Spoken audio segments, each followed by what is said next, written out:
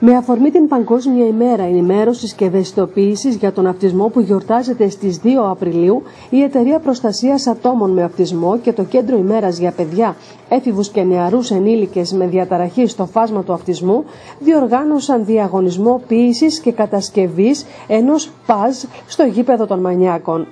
Στην κατασκευή του μήκους 15 μέτρων παζλ για τον αυτισμό συμμετείχαν όλα τα παιδιά από τα δημοτικά σχολεία της Καστοριάς αλλά και ενήλικες εθελοντές. Κατά τη διάρκεια της εκδήλωσης που έγινε κάτω από άψογες καιρικές συνθήκες, τα παιδιά είχαν επίσης την ευκαιρία να πάρουν μέρος σε διάφορα ομαδικά παιχνίδια. Κάθε χρόνο, στα πλαίσια της ενημέρωσης και ευαισθητοποίησης για τον αυτισμό, κάνουμε μια εκδήλωση. Ε, μέχρι πέρυσι είχαμε αθλητικούς αγώνες. Φέτος κάνουμε για πρώτη φορά το ΠΑΣ. Ένα ΠΑΣ 15 μέτρων, το οποίο έχει φτιαχτεί από, το, από τα σχολεία της πρωτοβάθμια.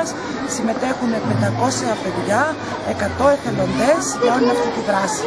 Και από ό,τι ακούσαμε, η βλέψη σας είναι να μπορέσετε να μπείτε στο, στο βιβλίο των ρεκόρ Guinness. Έχουμε ελπίδε. Ναι, ναι, ναι. Ε, ελπίζουμε ότι το χρόνο θα το καταφέρουμε. Α, για την φετινή χρονιά δεν είναι. Για την φετινή χρονιά όχι. Ελπίζουμε το χρόνο θα το καταφέρουμε και αυτό το πα θα μεγαλώσει. Ε, είμαστε πάρα πολύ χαρούμενοι και ο σκοπός μας και ο στόχος μας είναι ε, να είμαστε ένα. Όλοι διαφορετικοί αλλά όλοι ίσοι, να, να υπάρχει αυτή η συναναστροφή με τα παιδιά, με τους νέους. Γι' αυτό αγωνιζόμαστε.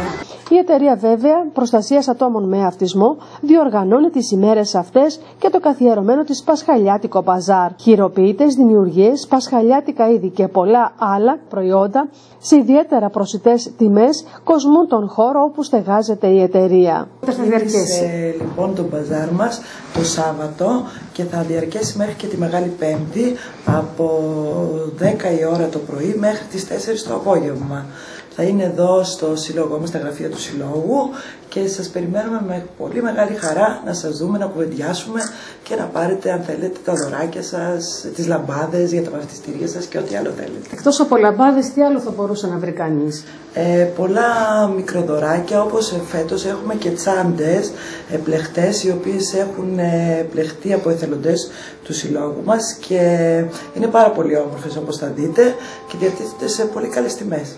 Τα έσοδα από την εκδήλωση θα πάνε για τις ε, δράσεις του συλλόγου μας.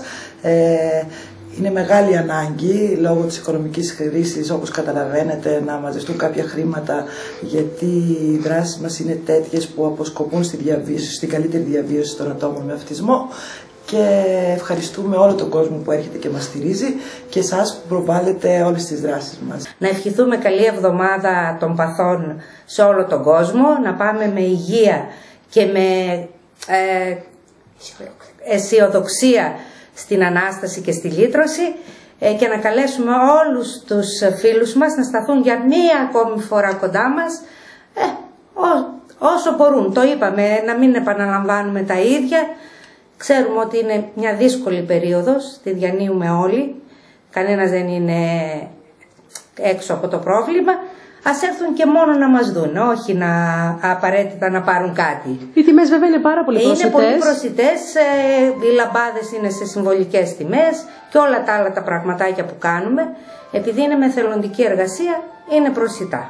Γενικά ο κόσμος ανταποκρίνεται. Ναι, ναι. Ε, αυτοί που μας ξέρουν και έχουν μάθει ότι λειτουργεί εδώ Χριστούγεννα και Πάσχα αυτό το μπαζάρ, ξέρουν ότι χαίρονται και τα παιδιά για να βλέπουν τα πράγματα τα οποία κάνουν και συμβάλλουν, γιατί συμβάλλουν και τα παιδιά. Δεν είναι μόνο οι εθελοντες είναι και οι εποφελούμενοι που μπορούν να απασχοληθούν, να απασχολούν και αυτοί χαίρονται περισσότερο όταν κάποιος μπαίνει και παίρνει κάτι από τις δημιουργίες τους. Και αυτός είναι και ο σκοπός μας, δεν είναι είναι και οικονομικός, αλλά όχι καθαρά οικονομικός. Τι ώρες; Ε, ώρες, ε, σας είπε και η κυρία η πρόεδρος εδώ, η κυρία Ζάκα, ε, 10 με 4, τα κοριτσά σε 9, πάνω από τα σκαλάκια της Εθνικής και όποιον δεν τον βολεύει αυτή η ώρα το λέμε, θα πάρει στο τηλέφωνο της εταιρείας το 24 67 0 24 6 36 που μπορεί να το βρει στα site παντού ε, και θα τον ανοίξουμε και θα τον εξυπηρετήσουμε.